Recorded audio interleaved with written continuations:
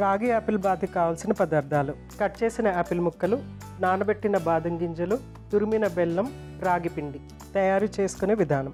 ముందుగా స్టవ్ వెలిగించి బాండి పెట్టి నీళ్ళు వేసి మరగనివ్వాలి.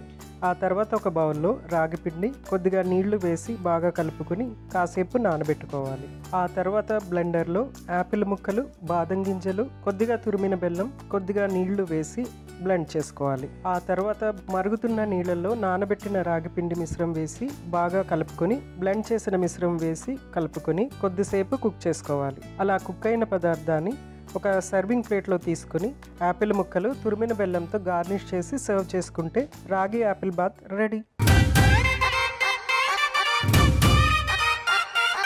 ఓకే అండి చూశారుగా మా వీడియో? మీకు నచ్చినట్లయితే మీ ఫ్రెండ్స్కి షేర్ చేయండి లైక్ చేయండి. మా వీడియోని సబ్స్క్రైబ్ చేసుకోవడం మర్చిపోకండి.